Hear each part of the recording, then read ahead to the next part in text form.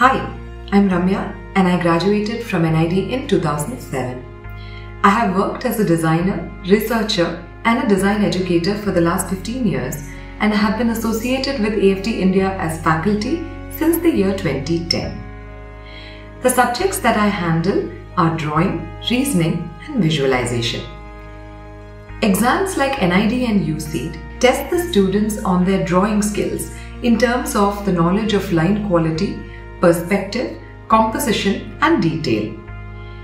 In my experience, I have seen that students in my class usually begin at various levels of skill and concept.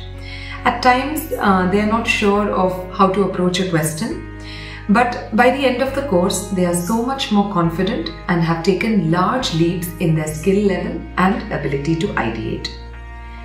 Usually, I do an individual assessment of each student in my class with periodic tests, and then we redo the topics again for the benefit of the students. When the students feel comfortable with me and do not hesitate to ask me questions, I find it easy to facilitate, and we usually see great results in the end. Design colleges like NIFT test the students' ability to reason and come to a logical conclusion. Usually, the reasoning questions are objective type, so I take them step by step through the process of understanding what the question requires and what's the quickest way to solving them within the time limit. Hmm. Visual reasoning is also a big component of the UCEED exam.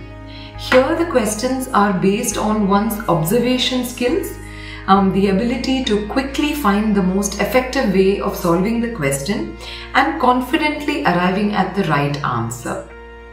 So, if design is your dream, all it needs to crack the design exams is a little bit of creativity, a questioning mind, and a watchful eye.